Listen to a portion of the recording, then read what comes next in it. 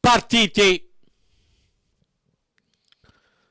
Dream è la centropista in leggero vantaggio con all'interno Cenerentola e a largo Desmotronic e Onda Rock in seconda linea il Tabal. Siamo dopo 400 metri di corsa con Dream Hila in vantaggio al suo interno Cenerentola, poi seguono Desmotronic, Onda Rock e El Tabal.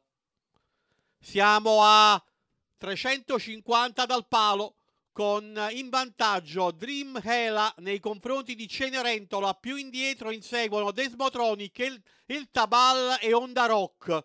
A 200 dal palo Cenerentola sta passando nei confronti di Dream Hela nel tratto finale Cenerentola che sta prendendo il sopravvento nei confronti di El Tabal che emerge al posto d'onore nei confronti di Dream Ela e Desmotronic.